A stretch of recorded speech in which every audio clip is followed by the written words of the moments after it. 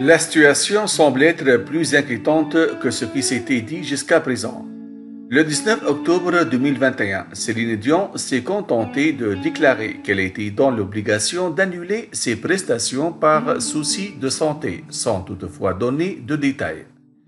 Par la suite, sa sœur Claudette Dion a pris la parole à deux reprises pour donner plus de détails sur la situation, tout en assurant qu'il ne s'agit de rien de grave et que la chanteuse québécoise a juste besoin de repos. Mais est-ce tout ce qu'il y a à savoir? Apparemment non. Un proche de la chanteuse qui a tenu à garder l'anonymat s'est longuement confié à ce sujet, dévoilant l'état santé réel de Céline Dion.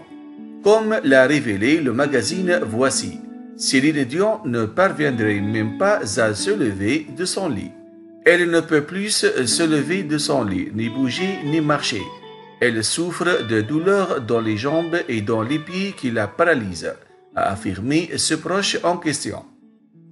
Il a poursuivi en faisant savoir que la reine de la pop ne peut presque plus rien faire et a même d'ailleurs perdu beaucoup de poids. Voilà des propos alarmants qui attiseront encore plus la curiosité des fans de la chanteuse.